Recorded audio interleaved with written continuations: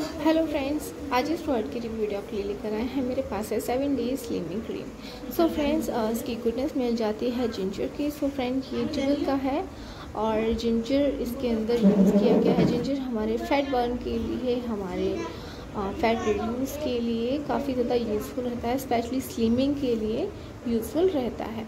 सो so friend बात करें सबसे पहले इसकी M R P and quantity के बारे में तो इसकी जो क्वांटिटी है वो 50 ग्राम का पैक हमें देखने को मिल जाता है। इसके साथ ही ये आप फोर हंड्रेड रुपीज़ की एम आर पी है, चार सौ निन्यानवे रुपये बट आप इसको इजीली बाय कर सकते हैं। One hundred twenty two one thirty rupees easily मिल जाएगा। अप एंड डाउन रेट चलते रहते हैं।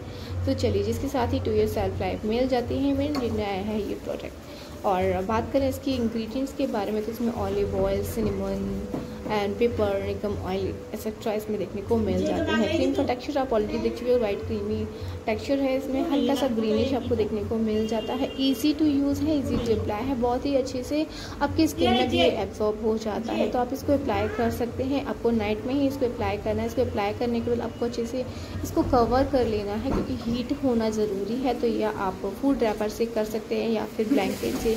या हॉट टॉवल आप यूज़ कर सकते हैं स्लिमिंग ब्लैंड का भी आप यूज़ कर सकते हैं। तो आपको इसको कवर करके रखना है टू आवर के लिए, उसके बाद आप इसको वॉश आउट कर सकते हैं।